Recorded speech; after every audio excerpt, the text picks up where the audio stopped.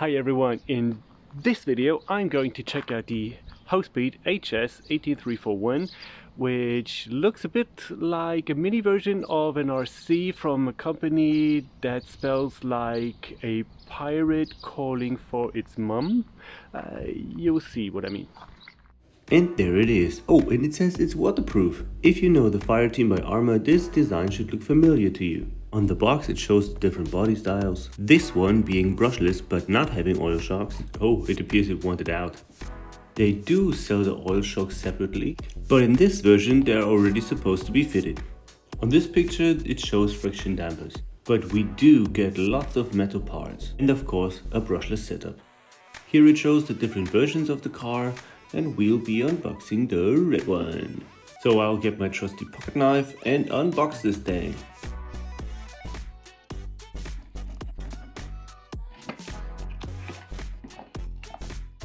Seems like they have upgraded the remote control, it looks different from what I'm used to, but it feels very good in the hand and uh, seems to be pretty good for one-handed steering. On the remote you have three knobs for steering trim, steering dual rate and the speed. You will also get your little Phillips screwdriver, a wrenching tool and the charger, plus spare clips, the instruction manual which you should read, ooh parts. Alright and now for the car.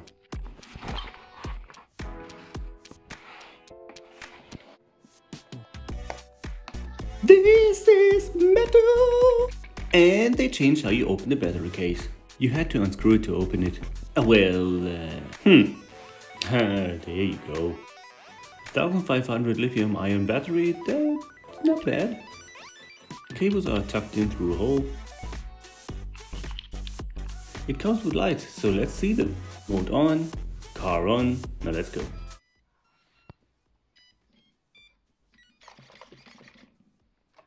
Yeah, it looks nice, they seem very bright. So we got headlights and a roof bar. No lights on the back though.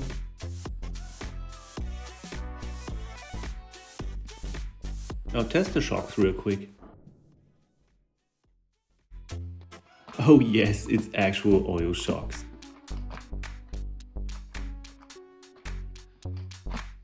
Tires feel good and soft. It has been pointed out by other reviewers that it kind of looks like a mini version of the Arrma Fire team, So if you like the design of it, you will probably also like this car. And with all the dirt that's flying around, you need those helmets.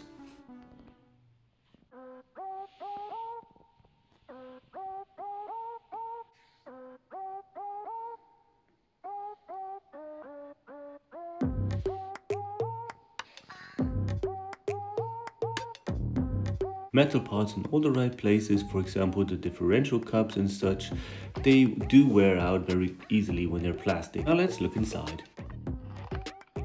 So we do get a Deans connector or a T-plug with it. The 4000 kV brushless motor is encased, which I think is a good thing. 3-wire servo, which I hope is stronger than the one that they used to use. The chassis is still pretty similar to the ones from the 18301 or 18303 like what I used to have which means the parts should be interchangeable and for like 35 euros they were the best RCs.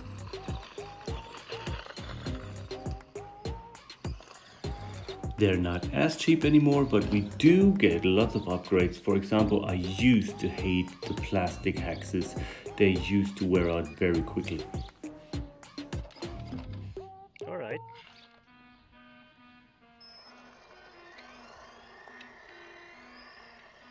Oh well, the steering does need some trimming. Alright, now let's practice a little bit. Seems pretty capable even on grass.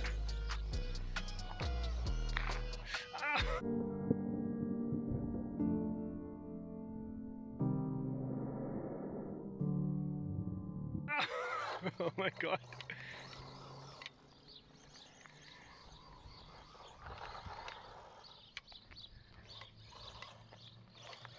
Uh-oh, uh-oh, what happened? Oh no, oh no, oh no. It's it doing it? Well, I lost the dog bone, but gladly I can use one from my older models and it fits perfectly.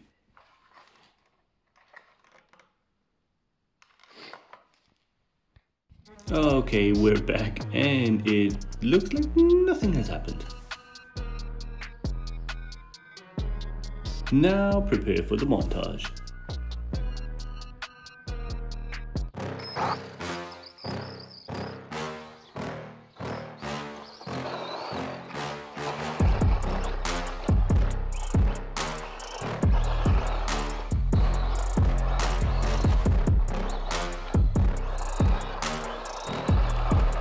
The servo is a bit on the weak side, it does veer off when you give it full power all at once. It wants you to slowly build up the speed, but when you've learned that, you're good to go.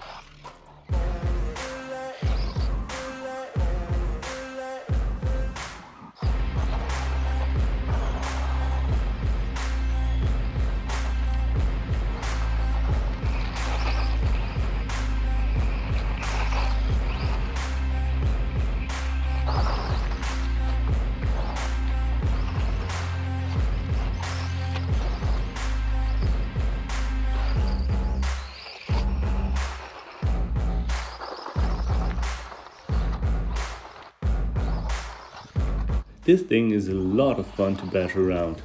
And for about $100 or 100 euros, it seems fairly priced. Hospeed have done a great job upgrading their best RC car and make it even better.